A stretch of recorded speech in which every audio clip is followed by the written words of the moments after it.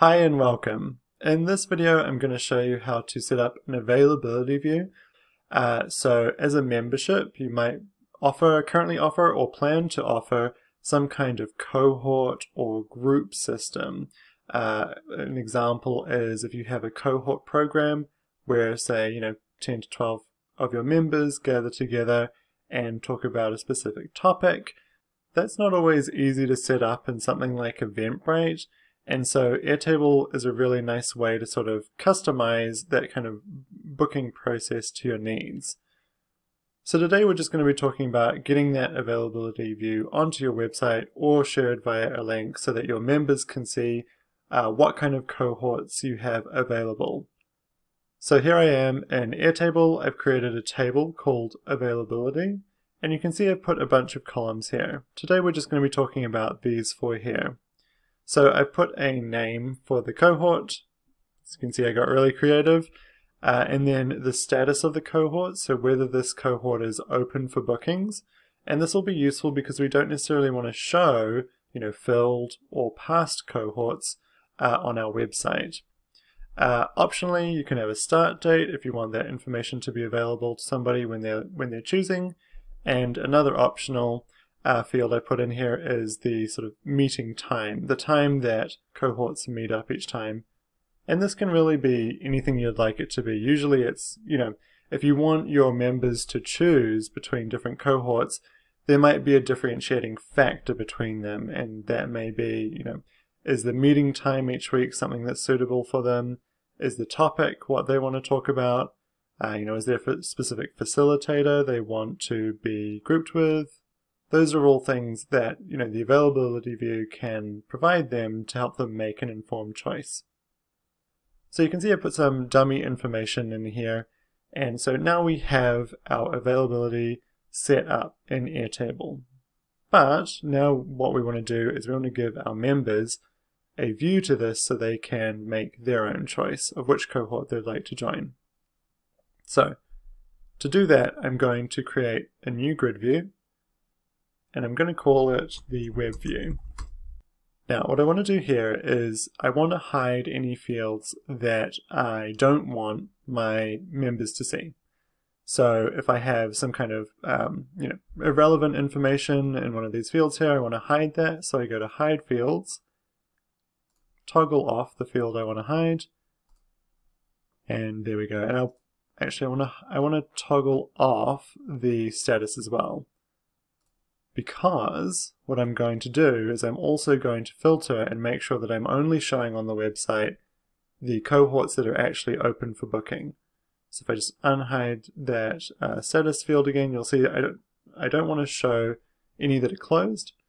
So I'm going to filter and make the condition so I want it to only include where status is open. You can see now that that field, uh, that third cohort that was closed has now disappeared. And now that I know that it's only going to be open cohorts shown, I'm going to hide that status field.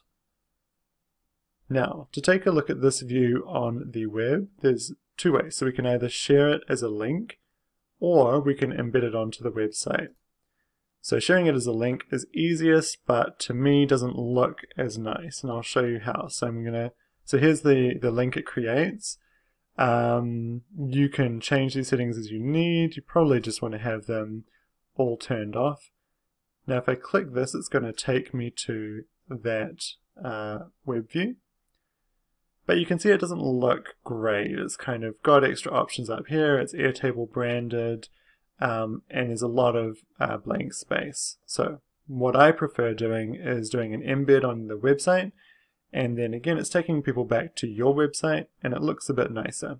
So let's do that. So I'm going to click, uh, I'm going to go back into share view and I'm going to click embed this view on your site.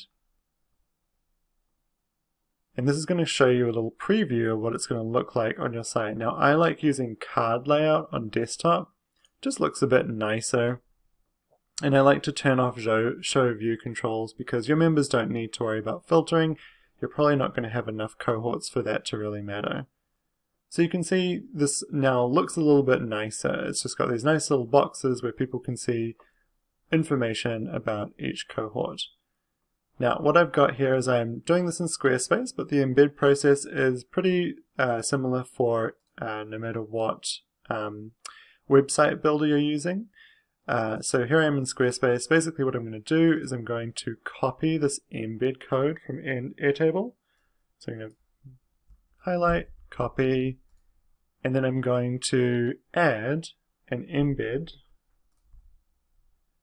into my Squarespace page. And I'm going to click this icon here, which enables me to add the code. I'm going to click out, and I can see now that um, I've got this sort of cleaner view where I just see these cards uh, there.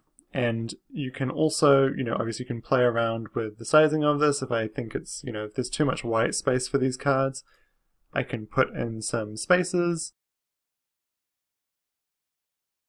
to make a view that's more suitable for the content that's being shown. Now I'm going to save that.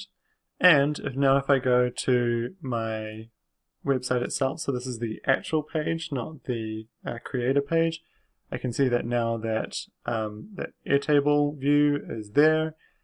Now the nice thing here is that now this is embedded, any updates in Airtable will automatically be transferred onto your website. So for example, if I go back to my Airtable and I go to my grid view and I know that I am about to add another cohort,